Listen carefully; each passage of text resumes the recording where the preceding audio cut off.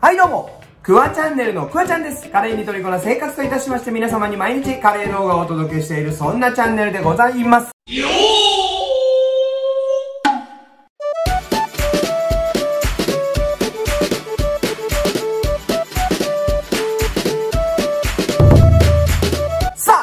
はですね、王子駅にあります、カレーハウスジャンゴさんに行ってまいりました。もうジャンゴさんはね、こうカレーマニアの方からひしひしともうここは最高だと、ここはもう行っとくべきだというね、噂がこう回って、まあ、ものすごい大行列店ではないんですけども、カレーマニアもうなるそんなカレーのお店でございます。メニューの方はね、ちょっと動画には NG だったので載せれてないんですけど、今回は豚骨スペシャルをいただきました。もう他にもカツのカレーとかいろんなカレーがあるんですけども、今回は豚骨スペシャル。もうね、結構いろいろね、あのネットとか見てるとこれ美味しい、これ美味しいとか、これ、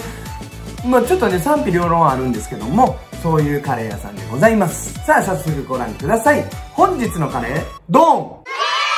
こちらはジャンゴさんのおすすめの縦看板。店内には写真付きの詳しいメニューもあるので、詳しくは店内でどうぞさあ、着丼するや否やこの目に飛び込んでくるでっかい豚骨。その下にしっかり構えられている豆腐やニンニクがころりと入っているところが特徴的。食欲増加の一途をたどるしかありません。これはもはや最高の予感。それでは本日もいただきますまずはいつも通りルーの方だけ一口一口食べるとそのスパイス感で本日もそしてこちらトロトロの豚を一口いただく。まさに絶品絶景のその豚は一口食べると食べるものを魅了する一口。なかなか珍しいカレーに豆腐というスタイルにもきっちりの相性でお次は目に留まるこのポロリのニンニクを具材と一緒にいただいていく。もはやスプーンは止まらない。味は濃くガツンとくるタイプではなくどちらかというとスパイスや風味で押すタイプ。トロトロの豚の上に乗ったきゅうりと一緒にいってもいいアクセントになり最高の一口。これぞ異次元的カレーそして唯一無二というのか。カレーを吸い込んだこちらの豆腐を食べてももはやカレーのワールドへ突入。もはやカレーを食べているという概念すら覆されるその一皿は最高の一皿。これはもはや全種類食べてみる価値ありのお店本日も満腹ごちそうさまでした。カレーってこういうことだと思います